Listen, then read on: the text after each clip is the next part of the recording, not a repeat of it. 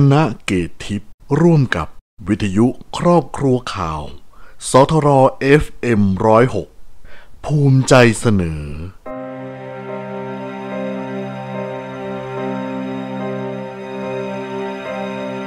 ละครวิทยุ จากบทประพันธ์ของวาราง บทละครวิทยุ โดยลาลนา เขาเป็นจิตรกรหนุ่มที่มีชื่อเสียง ส่วนเธอ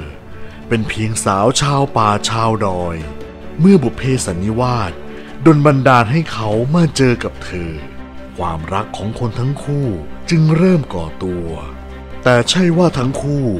จะสมหวังในรักไปได้ง่าย ๆ ในความรักครั้งนี้มีอุปสรรคมากมาย รอให้เขาและเธอร่วมกันฟันฝ่า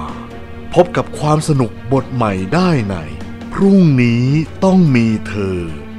ทุกวันจันทร์ถึงวันศุกร์เวลาสองทุ่มถึงสามทุ่ม และรีรัน